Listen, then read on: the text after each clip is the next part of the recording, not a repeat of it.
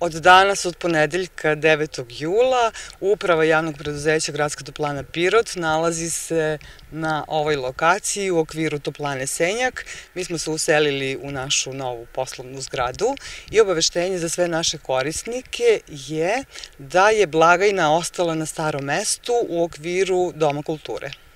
Koliko će značiti samo preseljenje e, uprave gradske toplane e, za sami nesmetan razvoj ovog preduzeća, ali i za same korisnike?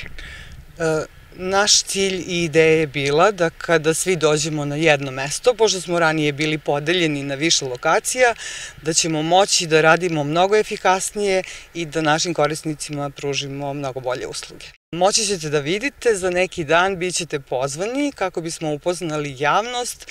Ovde gde sada stojimo u nastavku ovog dela gradit ćemo našu internu saobraćajnicu, to je saobraćajnica kojom će se kretati cisterne mazuta.